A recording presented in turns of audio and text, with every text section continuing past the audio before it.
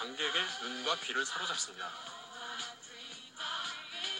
이 영화를 연출한 빌리 우드로프 감독은 브리트니 스피어스, 섹스피드 보이즈, 아웃캐스트 뮤직비디오를 연출하면서 이름을 알렸고요. 영화 허니를 위해 무려 16개의 힙합곡을 만든 로드니 저킨스 역시 베이비 페이스, 브리트니 스피어스, 제니퍼 로페즈 등 음반 제작을 맡아온 최고의 프로듀서입니다.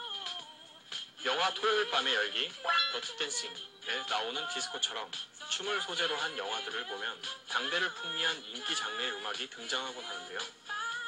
영화 허니는 2000년대 초 최고의 전 세계를 강타한 힙합 열풍에 걸맞게 강렬한 랩과 멋진 브레이크 댄스를 선보이며 힙합의 인기를 실감케 한 영화입니다.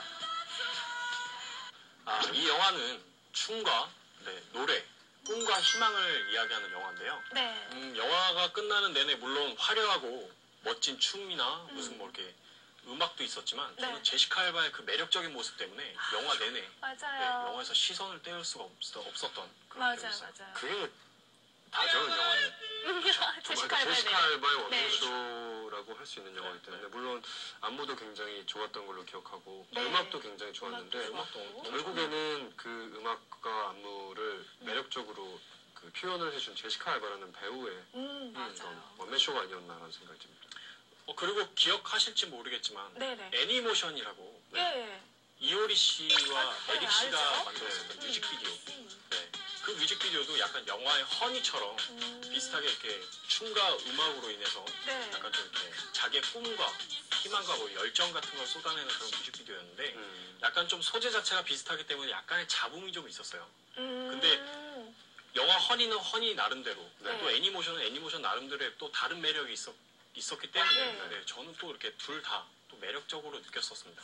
맞아요. 그만큼 주목을 받아서 그런 거니까요. 뭐, 네, 그렇죠. 네. 허니가 그만큼 또 음. 유명했고 음. 많은 분들한테 되게, 되게 인상적이었던 영화였죠. 한국에서 특히 인기가 많았던 네. 걸로 기억을 해요. 음. 근데 제시카 알바가 이 영화 섭외가 왔을 때 음. 춤을 전혀 출 줄 모르고 아예 춤 댄스에 대해서는 전혀 관심조차 없었대요.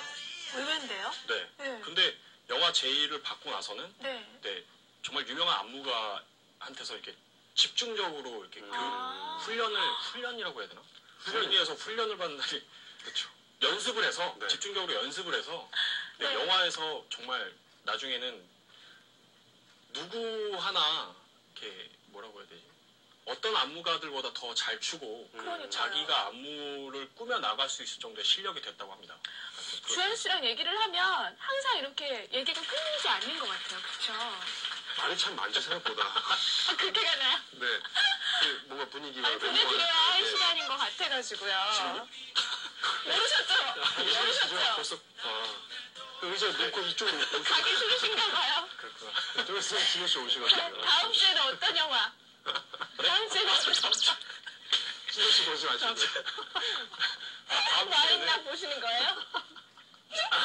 주에도 네. 네, 영화가 또 많이 개봉이 될 텐데요. 5월이기 때문에 뭐 많은 분들이 이렇게 야외로 나가시기도 하지만 네. 영화관도 찾는 분들이 많아서 네. 영화 개봉하는 게 점점 많아지고 있어요. 네. 그렇기 때문에 또 5월에 맞는 아. 그런 영화를 제가 또 이렇게 찾아오겠습니다. 네, 기대하겠습니다. 네. 감사합니다. 오늘 감사합니다. 근데요, 지금 가시기 전에요. 네. 저기 조그맣게 준비를 한 게 오늘이 5월 18일이잖아요. 네, 오늘 5월 18일. 네, 맞아요. 네. 지금 보신 것 같아요. 5월 시계. 18일 맞고요. 네, 오늘이 그 우리 임주환 씨 생일이라 아. 저희가 또 알고 있어가지고 그래서 저희가 준비를 했는데 네. 어떡해요? 축하합니다.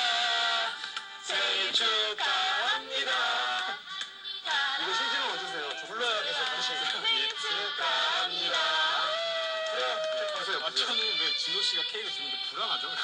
저한테 바로 날라올 것 같아서 제가 지금 두 손을 잡고 있는 거예요. 축하드려요. 숫자 1은 앞으로 일을 많이 하라고